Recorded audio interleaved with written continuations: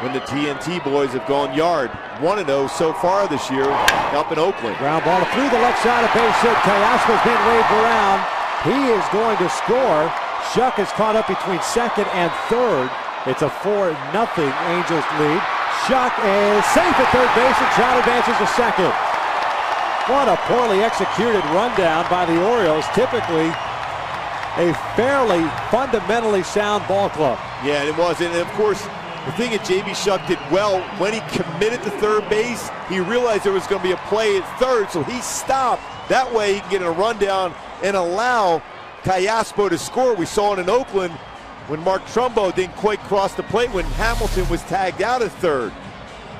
He reads that and stops and forces the throw to third and then gets in a rundown.